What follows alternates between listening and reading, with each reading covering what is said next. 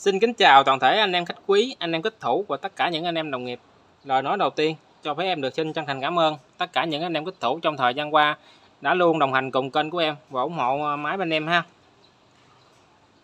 Và tiếp theo những à, video những con máy trước nha anh em là hôm nay em cũng à, xin trả đơn hàng là con máy kích cá điện tử 8 phép băm DB3 huyền thoại bên em ha. Còn con máy này là trả hàng cho anh anh Quân, khách hàng ở Bình Dương nha anh em. Thì à, con máy này là con máy à, chuyên đánh nước ngọt nha anh em. Là ngọt trong, ngọt đục ngọt phèn, ngọt nhiễm à, tạp chất. Thì con máy bên em thì có hội tụ đầy đủ tất cả các chức năng là chống kẹp ngược, chống chập vợt, chống quá tải qua dòng và chống giật cò bóp. Để đảm bảo đầy đủ các chức năng tính năng, bảo vệ an toàn cho anh em khi khi sử dụng ha. Và cam kết với anh em có dòng máy bên em sản xuất ra là xứng đáng với đồng tiền bát gạo mà anh em bỏ ra ha. Cam kết chất lượng hiệu quả. Và cái hiệu quả độ thu nhập cao cho anh em ha. Thì à, tổng quan nội con máy đây nha anh em là nội thất bên trong con máy đây ha. Đó. Và hỗ trợ cho anh là dây cầu bóp dài 2 mét ha. Theo yêu cầu của anh là anh à, chuyên đi bộ thôi. Nên em làm dây cầu bóp là dài 2 mét cho anh ha. Sử dụng à, uh, cò bóp loại tốt loại cực phíp thủy tinh. Đây là dây à, 1.5 ha.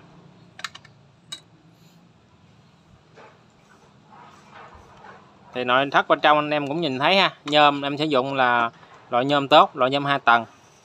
Nhôm dày để anh em sử dụng con máy nó bền bỉ tuổi thọ kéo dài lâu bền lâu hơn ha. Còn biến áp em sử dụng là biến áp công suất e, E4220 lõi vuông là hiệu suất nó sẽ cao hơn là cái dòng biến áp à, lõi tròn. Và biến áp E42 lõi tròn mà 4215 đó nha anh em là nó, nó hiệu suất không bằng cái dòng 4220 vuông ha thì tủ lồng nguồn đầu vào là hai tủ. Tủ lồng nguồn đầu ra hai tủ. Tủ uh, băm. Em sử dụng cho anh là hai tủ luôn ha. Còn đây là cái uh, cuộn cảm. Thì tổng quan bao gồm như vậy nha anh em. Là linh kiện em chọn dòng linh kiện loại tốt ha. Để đảm bảo anh em sử dụng uh, an toàn và bền bỉ. Và hiệu quả cao ha. Còn đây mặt trước của uh, con máy. Đây thì cặp trước, mặt trước bao gồm ha, hai cái cọc dao quật và một đúng ờ, nấm chỉnh ờ, mạnh yếu là chỉnh tần số. Là và một công tắc, chuyển ờ, chế độ đánh lì và chế độ trộn sung băm sung em ký hiệu là chữ băm ha, cho nó gọn. Hoặc bật sang chế độ ở đây là chế độ đánh lì. Còn hai cọc đầu ra quật nè. Thì đối với anh đi bộ thì anh sử dụng cọc đen này nè, bên tay nghịch. Cọc đỏ là vợt ha là bên tay thuận thì đối với máy điện tử thì anh sử dụng chỉ hoặc quạt đều được. Nhưng mà cái hiệu suất ờ, hiệu suất nó để con máy nó nó đạt tối đa là cái độ ăn cái độ hiệu quả nhất là anh sử dụng quạt ha là hiệu quả cao nhất so với dùng dùng chĩa.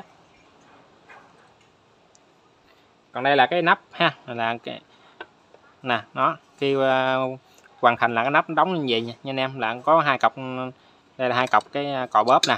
Đây ký hiệu cho cò bóp ha, là hai cọc cùng màu đây. Thì anh lắp dây cò bóp này vào. Mình vặn ra nó có lỗ, mình xỏ vào nha nè. Nè, anh quân nhìn thấy ha, đây, nó.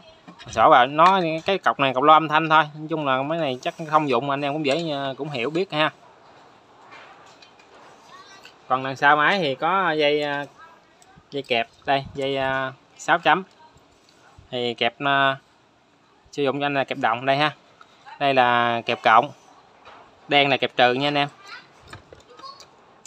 Còn ờ, đây, mặt dưới ờ, phía sau là có quạt tản nhiệt, có lầm lưới trắng rác, bảo vệ đầy đủ cho anh em ha, bảo vệ cánh quạt đầy đủ nè.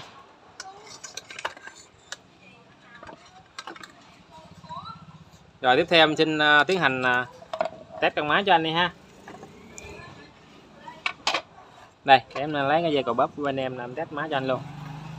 Rồi khi sau video em sẽ đóng đóng nắp lại và đóng gói và gửi đến anh ha.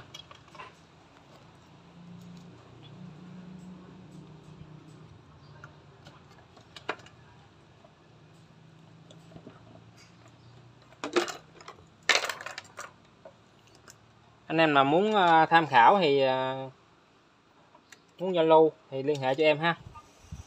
Hoặc là muốn ờ, biết thêm thông tin chi tiết về con máy á. Trong video nếu anh em cần biết thêm thông tin về chi tiết về con máy thì alo trực tiếp cho em. Số điện thoại em để trên góc màn hình bên đây.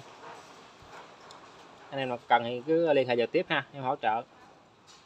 Cho anh em là từ A đến Z luôn ha hỗ trợ từ máy đến uh, kỹ thuật đánh luôn ha. Rồi bây giờ là bắt đầu mình test máy nha thì đối với máy điện tử ha mình bắp cò không ở trên bờ nó sẽ không kêu. Tại vì máy điện tử nó có sức uh, dòng ra nó mới hoạt động được. Thì trên bờ thì anh mang tải bóng đèn cho em mấy bóng đèn sẽ đốt. Còn nếu không không bóng đèn thì anh để hay bật ờ, xuống nước giùm em ha. Xuống nước là anh em để xuống uh, xuống sông xuống ao xuống hồ. Chứ anh em để lên nước trong lưu là nó không có đủ uh, tải nó sẽ cái máy không không hoạt động nha anh em. Nó sẽ uh, không kêu ha. Còn anh em muốn cho nó máy hoạt động là anh em phải đi xuống mương, xuống ao, xuống hồ, xuống sông là máy nó mới hoạt động được. Là hai giờ để nước ha. Còn trên bờ anh em để ờ, để không là nó sẽ không kêu. Và mình để hai điện như luôn, nước cũng không kêu luôn. Tại vì nó không đủ tải. Rồi trước khi mình đánh á, rồi trước khi ờ, cho mang tải, trước khi mình hạ giật xuống nước đánh thì anh ờ, bóc cò trước một hai cái cho em ha. Đó, đây là cái cái kỹ thuật, cái mẹo đánh thôi, là cái mẹo để anh em đánh nè. Mình bóc cò vậy nè, cho điện nó nạp vào tụ tụ lọc nguồn tụ bâm đó. Là điện nó vào đó nó ổn định rồi, là lúc đó anh em đánh con máy nó sẽ mát và nó có độ bền máy nó cao ha. Chứ anh em không ờ, bóp cò thì đánh cũng vẫn được, nhưng mà cái hiệu suất nó sẽ ờ, và tuổi thọ máy sẽ không bằng cái mình sử dụng đúng cách và cái cái hiệu quả nó sẽ cao ha. Thì em là máy em chia sẻ tận tâm chia sẻ cho anh em những cái mẹo những cái hay để anh em sử dụng cho đầu tiên là tuổi thọ con máy và cái sau đó là cái độ bền và cái, cái hiệu quả à, sau khi chúng ta sử dụng á ha. Giờ giờ mình đã bút còn hai cái rồi. Anh em cứ nghĩ là mình đề máy à, khởi động máy đi. Chung nhìn à, mình bóp còn một hai cái trước khi mình đánh là mình khởi động máy. Rồi mình mới đánh ha vậy đi cho nó mình nói đơn giản vậy cho anh em dễ hiểu. Rồi bây giờ mình thử cái à, chế độ đánh lì trước nha. Tần số mình đang để mức thấp nhất. Chế độ đánh là đang chế độ đánh lì. Thì anh em nào muốn ăn cá rô phi thì mình chuyển sang chế độ đánh lì sẽ ăn ngọt hơn đó, đó so với chế độ à, trộn sung ha. Đây tần số đang mức thấp nhất nha anh nè giờ em tăng tần số cho anh ha anh xem đó. Đó là maximum ha thì anh về anh để mức ờ, tần số mức 3 mức 4 nè. Trên mặt số em có ờ, làm ờ, thiết kế cho anh 10 cái dấu chấm, thay thế cho 10 số ha. Anh để chấm số 3 đi. Ví dụ anh đánh mức này trước đi. Nó, anh để cảm thấy anh đánh ưng ý thì anh để mức đó anh đánh. Còn nếu cảm thấy con cá còn chạy á, thì tại tùy vào cái dùng nước, tùy vào cái độ sâu nước nữa. Cái tần số này nó sẽ khác nhau. Em không có để mặc định cho anh được ha. Thì anh về anh đánh mức đó anh cảm thấy con cá nó chào lên gần cái vợt rút gần vợt á. Lật ngang chết thì anh để nó anh đánh. Còn nếu anh thấy con cá nó chết yếu, hoặc nó còn hơi chạy hơi đó, anh tăng số lên chút xíu. Còn trong trường hợp mà anh chỉnh ha, nếu cảm thấy con cá nó chết tim nè, nó chuối ụng ụng nước nó, hoặc là nó chết chết chè mà nó không nổi lên được bằng nước á, hoặc là lên lên lưng lửng bằng nước mà nước trong khi anh anh em thấy nó lên tới đó, nó không lên nữa nó chìm xuống á thì lúc đó anh anh giảm tần số lại ha. Tại vì mình tần số nó cao quá thì cá nó, nó lên không kịp nha anh em nó chết chết ngọt nó nằm dưới luôn ha. Còn đối với anh kỹ thuật đánh anh hai giờ á mình để vừa lúc cái giờ thôi chứ không cần mà ghim sâu tận đáy với đâu ha. Tại vì dòng máy điện tử thì à, cá rút lại cái gần cái vợt nhưng mà anh em dúi cái hai cái à, vợt chứ tới đáy với thì nó rút theo cái vợt dưới nằm dưới luôn anh em đâu thấy được đâu bắt cá mình phải để gần mặt nước vậy ha vừa lúc bây giờ là được rồi. Cái khoảng cách nè nói chung là anh em để uh, dưới mặt nước từ 5 tấc trở lên thôi đừng cần không cần hột sâu dưới đâu ha. Giờ mình tăng tần số lên nha anh. Đó tần số maximum luôn ha. Đó. Giờ mình chuyển sang chế độ đánh lì nè.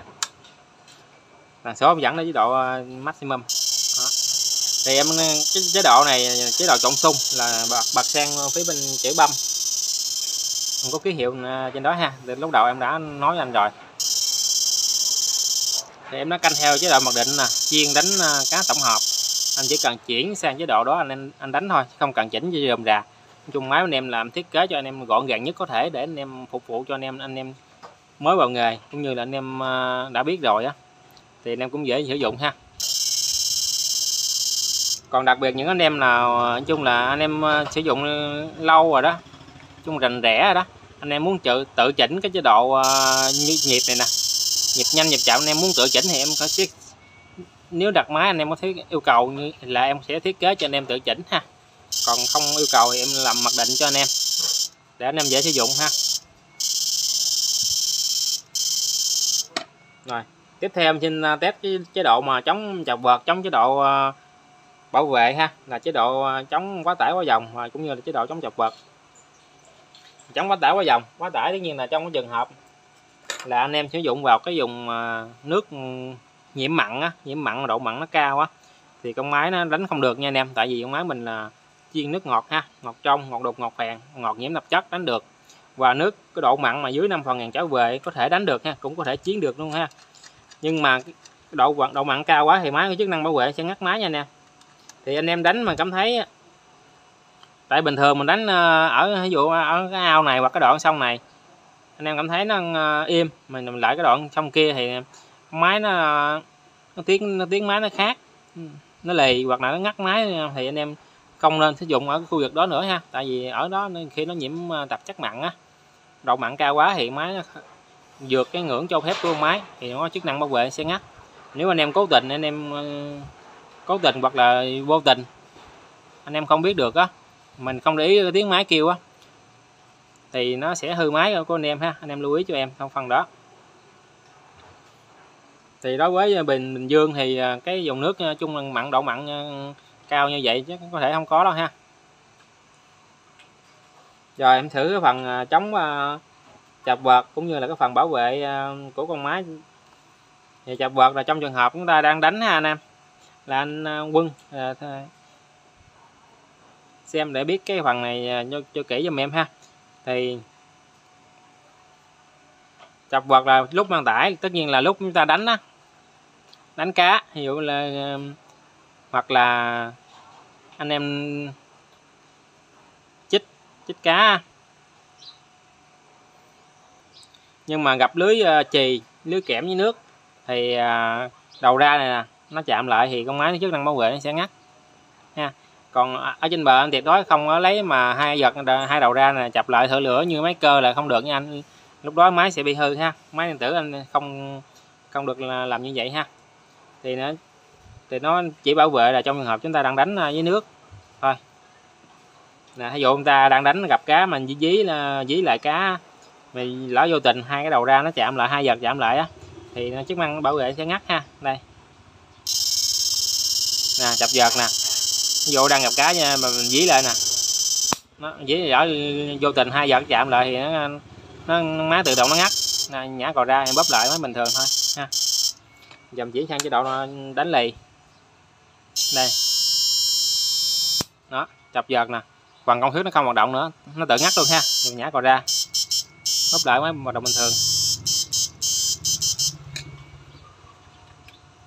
Rồi con máy ờ, của à, anh Quân đã an toàn ha. Và tất cả các chức năng đều hoạt động bình thường. Và em uh, sẵn sàng và em đóng gói và gửi đến đến anh ha. Thì trước khi kết thúc video á em cũng có đôi lời à, gửi chúc à, sức khỏe. Đầu tiên là gia đình của anh Quân là chủ nhân của con máy này. Và toàn thể những anh chị em kích thủ là những anh chị em khách hàng và toàn thể những à, anh chị em là trong thời gian qua đã luôn đồng hành cùng kênh của em ủng hộ máy bên em ha. Là chúc tất cả luôn luôn có sức khỏe dồi dào làm ăn phát đạt vụ mùa bội thu. Và luôn luôn gặp nhiều may mắn trong cuộc sống nha anh em. Còn anh em nào có ưu ái à, muốn mua máy liên hệ trực tiếp cho em. Số điện thoại nhanh để trên góc màn hình ha. Anh em nào có xem video có yêu quý mình đó nhớ đăng ký kênh ủng hộ mình để mình có động lực phát triển kênh nha anh em. Có động lực làm ra những con máy đạt chất lượng hiệu quả cao để à, gửi đến tay anh em kích thủ ha. Những anh em đam mê môn này ha.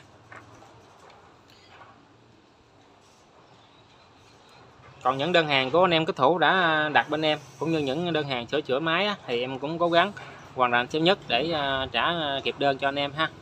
Tại vì những con những con máy sửa anh em có yêu cầu em quay video mới quay nha anh em. Tại vì một số máy có tên tem mạc của những cơ sở anh em đồng nghiệp khác á em không có tiện quay lên đó, đặc biệt là anh em có yêu cầu em mới quay thôi. Còn bình thường thì làm xong là em tiến hành tiến hành đóng gói và đỡ gửi đến ta, anh em liền ha, chứ không có quay video làm chi mất công, rườm rà. Chứ phần nó mất thời gian nha anh em. Còn đặc biệt những anh em nào à, chung mới, mẻ, giờ anh em nào có yêu cầu đặc biệt lắm thì em mới quay thôi. Còn bình thường em không quay ha. Rồi xin à, cũng không là mất thời gian của anh em ha. Em cũng xin chào tạm biệt anh em em xin tạm dừng video tại đây. Và em xin hẹn gặp lại anh em vào à, những video và những con máy tiếp theo nha anh em.